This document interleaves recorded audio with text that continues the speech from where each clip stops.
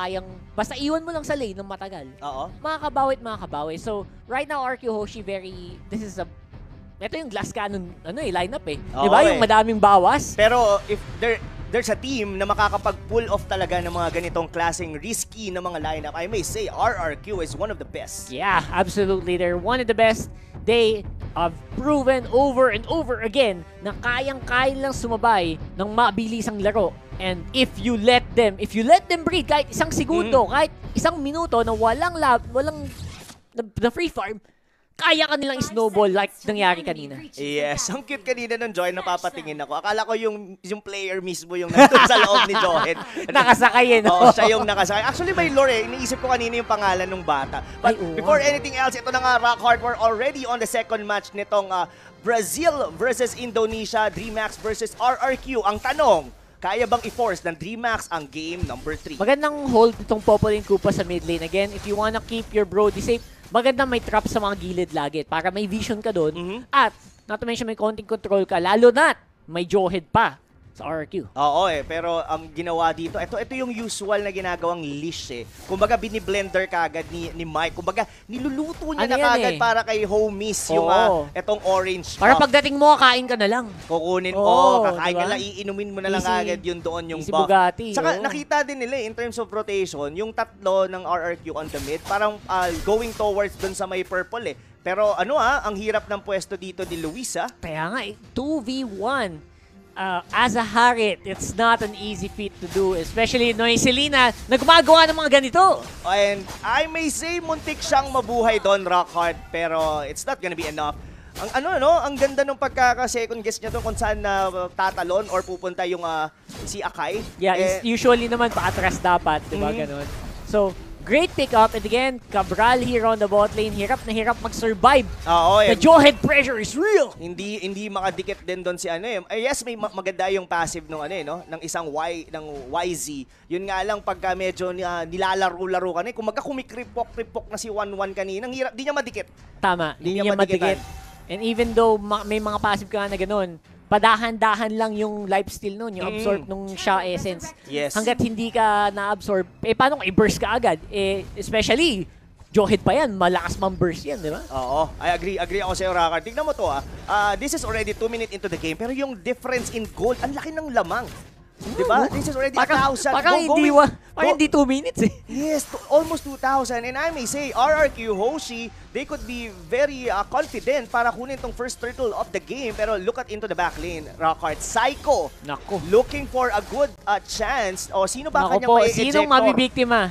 Pero ito na, ang nabiktima, napili nila si Akai. Mike. Mike will be the one to fall. Sino ang susunod? Yun ang malaking tanong. Pero hindi na daw sila go dahil may turtle pa sa likod. And this might be uncontested. Si Luis nag-aabang pero na-face check na siya doon ni Vin. Ayan yung nangyari, oh, yung confidence ng DMX, ng DreamMax, nawawala ng dahan-dahan. Hindi, Hindi man lang nila sinubukan mag-contest na. Totoo. Ka- kung kanina sila yung mas ano eh, mas nagsiset ng tempo since early game nga sila. Ngayon, baliktad. Si, ang RRQ naman ang medyo early game. Pero mas dominating to compare dun sa naging early ng DreamHack eh, during game number one. Oo, napakabilis at napaka napaka ano rin, ang linis. Mhm. Alam mo yung malinis na malinis yung galaw lang.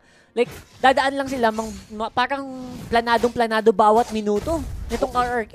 Yeah, yeah, ag- agree ako doon ha. Lalo, alam mo yung walang sayang na minuto. Kumbaga yung kada ikot ni Shin, meron siyang jungler na Parang ah, lagi siyang humahampas eh. Lagi siyang may hinahampas. Oo, it's either may kinukuha jungle or meron silang pinupush na lane katulad dito sa may top lane. Pero Oh yun na, nag-faceless in si Luis and that's gonna be the end of the Harriet.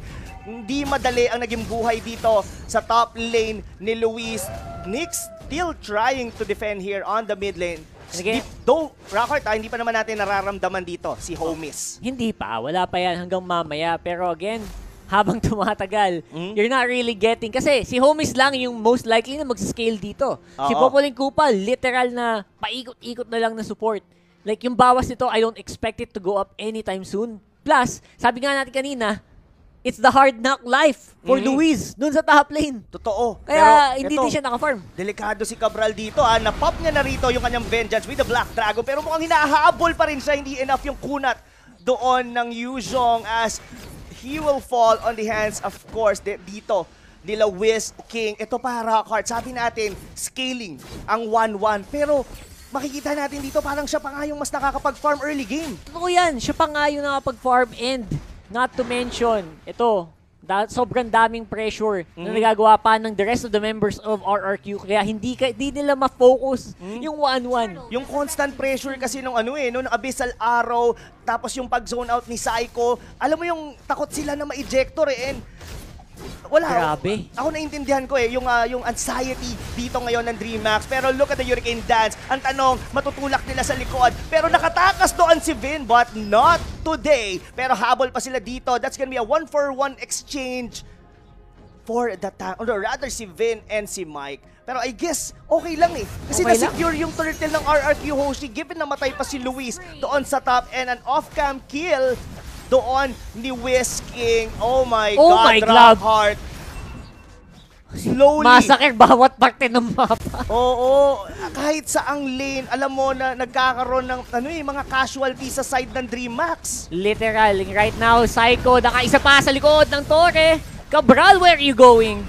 Where are you going nga? Pero si Mike umiikot-ikot pa uwi. Hindi nila na ma-maximize yung Hurricane Dance dito kasi as often as as if we could see, eh mas lalong nagagamit ng pantakas eh. Laging defensive. Yes. 'Di ba? Eh kung, kung ganun ang nangyayari pa ulit-ulit, what is happening to your course, 'di ba? Kahit si Homies ngayon on the Brody, ang kinakatakutan ng lahat right now on the draft, Mhm. talagang halatang hindi wala siyang magawa sa bawas. Oo, ang mahirap pa dito, ah, homies, kailangan niya kasi ng mga ano, eh, reliable na mga frontline. Ka- pero kung ganito yung nangyayari kila Mike, ganito nangyayari kila Cabral, pero mamaya na yan, the Zaman Force lapag na liluwis dito, pero walang nangyari at tinamaan pa siya dito ng Abyssal Arrow. That's gonna be one Harriet down. Mike na naman dito, half ang kanyang buhay. Psycho, naghahanap ng mababato, and si homies kanyang nakita, but This is just to zone out the members ng DreamMax, yung Torres at itaas, delikado, Rockhard. Sobrang delikado, not to mention. Sobrang confident din Wiz King dito sa 1-1 na to. It's so easy for them to pick up any fight. Basta may tumamang arrow, G, agad ng G. Oo, look at the damage ng Mountain Soccer. Hindi pa dumidikit sila dito.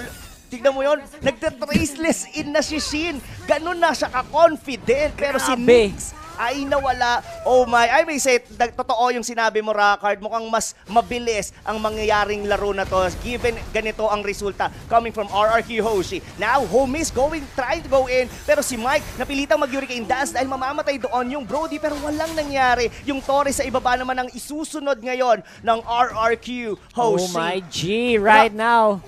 Coach is very, very happy, man.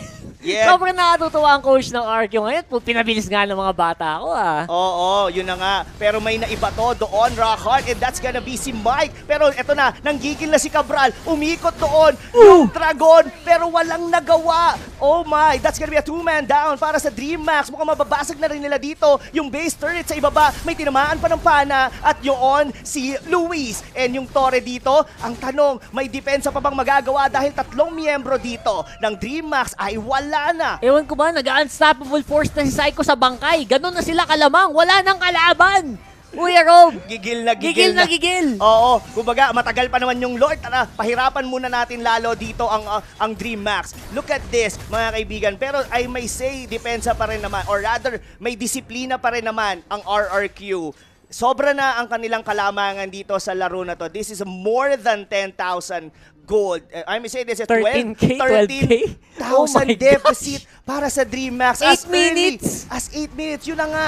Pero look at this. Paulit-ulit natin nakikita tong Hurricane Dance na to na nagagamit defensively dahil lagi tinatamaan ng pana. Look at that. Si Yung Luis. Purify, wala nang nangyari. And this Selena ni Vin together with Psycho, grabe. Relentless aggression ang nangyayari. As in, walang, walang pahinga. Walang, walang pwede mag-CR. Oo. Ika nga nila. Bawal, bawal, Bawal. bawal magpahinga. Bawal magpahinga. Kailangan lagi kayong alerto kasi may araw na tama sa mukha mo. Tumama sa mukha, binato pa doon sa may pader yung isa. And this might be it. This is gonna be a go signal para sa RRQ. I don't think na kayang kumontes dito ng Dreamers. Pero hindi na yata hihintayin niya ng RRQ dahil huhulihin na dito yung Akai. Sino kaya ang susunod? Medyo huminto. What do you think, Rockhart? Ang Tingin nangyari nangyari? Ayan. Ang nangyari, naubos. Naubos. Dito ang DreamHack. Sunod-sunod, isa-isa silang nawawala at si Luis ang pinakahuli. This gonna be the fa- probably the fastest match na napanood natin here on M2 as RRQ Hoshi demolish the Brazilian squad